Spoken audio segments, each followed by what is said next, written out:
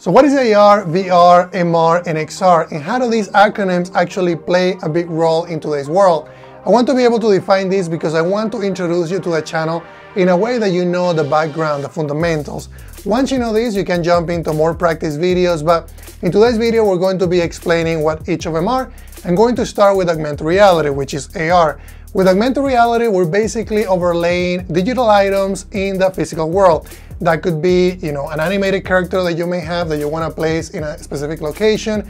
It could be basically, you know, a spaceship that doesn't really exist that we're overlaying. And when I say overlay, we're normally using a mobile device. This could be an iPhone device, it could be an Android device. They need to support either ARKit or ARCore, which are frameworks that the operating system, iOS and Android support. The other thing that you can also do with these technologies is uh, features such as plane detection, which means that the phone is capable of detecting surfaces. You can also use body tracking technology, which means that we can now start detecting, you know, when a human is, you know, in front of us. It could be that the human is moving around and it's actually going to detect each part of our body. That is body tracking. You can also use it with face tracking and you've probably seen a lot of, you know, demos from using snap lenses, which is basically detecting your face and placing digital objects on your face. And you can also use point clouds. There are many different features supported by these devices. Other features and technologies that you can actually use today are the ones that I mentioned, which is going to be ARKit and ARCore. You can also use other frameworks such as AR Foundation, which is the one that I teach a lot in the channel. And this is a wrapper around both ARKit and ARCore, and also other type of operating systems such as Magic Leap and also other devices.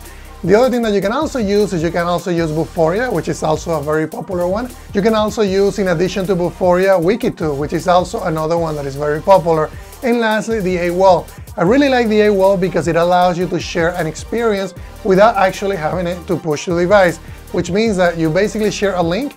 Once the person has that link, they basically have an augmented reality experience that they can show, you know, at any, at any time. So now that you know what augmented reality is and you have a brief idea of augmented reality, what is virtual reality and how do we use virtual reality today? So as opposed to augmented reality, where we are augmenting our world, virtual reality takes us to a different world. Now we're talking about going into a completely virtual world, a digital world where we don't know anything about the physical world. That's what virtual reality is. We're basically playing in a completely virtual world without any knowledge of the physical world. Normally you see this in, you know, in games, a lot of people know what Beat Saber is.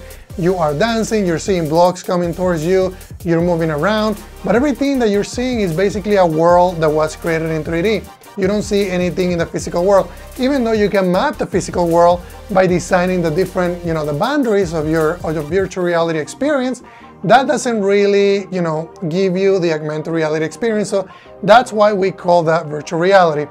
Virtual reality is also very common seen today in devices such as the Oculus Quest 1, the Oculus Quest 2. You've probably seen it in Oculus Rift as well, which is a device that you have to tether to the computer. You also seen it in the Valve Index, also in the HP Reverb, and so on. There's a lot of devices that support virtual reality.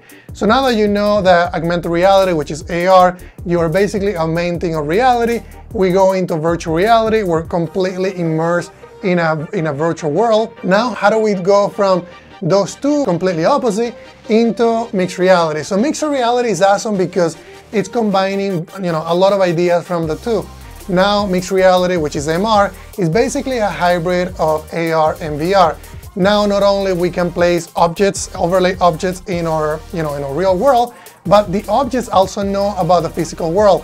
One good example is by wearing the Magic Leap and also wearing the HoloLens 2.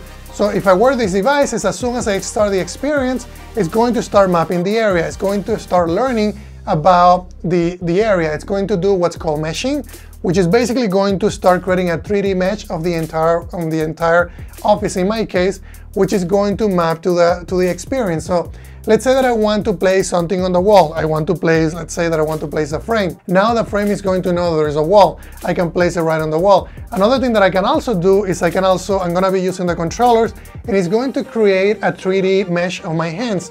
So when I'm wearing the HoloLens, I'm basically using my hands. I can also, if I want to, let's say that I place a cup right here, which is using augmented reality. Let's say that I wanted to rotate that cup, right?